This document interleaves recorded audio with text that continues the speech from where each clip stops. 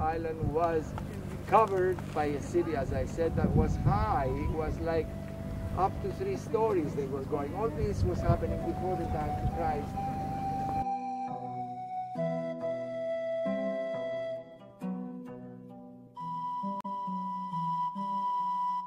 To you that this city was burned, it was sacked, and it was abandoned.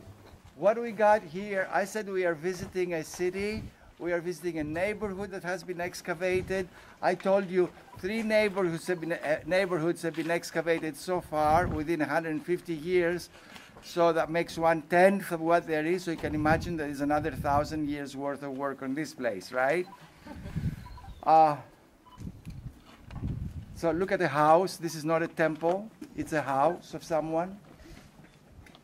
And I like to remind to you that this whole place was all covered with the rubble of the upper stories up to the highest wall. And the columns had fallen down.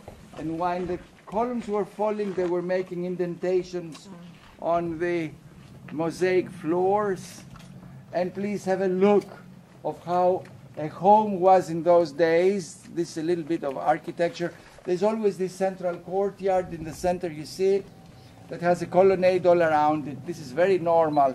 And the rooms are all around. Actually, this central courtyard has no roof. It's open air. The roof of the house, which is spanned in timber, would start from the outer wall, would go until the colonnade, and then it would go all around.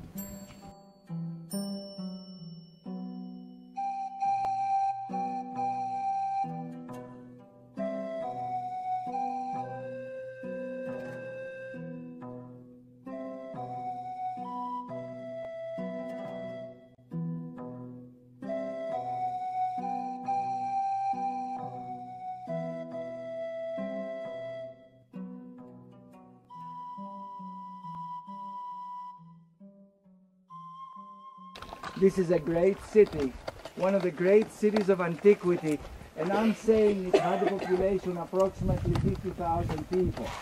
Now, 50,000 people, a city for those days was a mega city for us because the global population was no more than 20 million people.